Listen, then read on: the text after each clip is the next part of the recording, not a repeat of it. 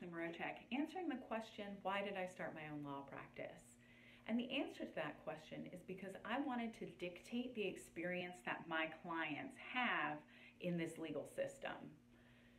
At Burchett and PLC, client satisfaction is of the utmost importance.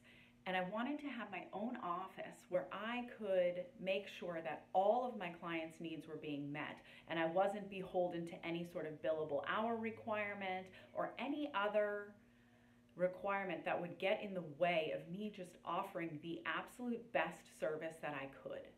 Here at Burchett Mroczek PLC, client satisfaction is our number one concern. And if you have a problem, you know that you can always come straight to me and we will address it in a timely and satisfactory way.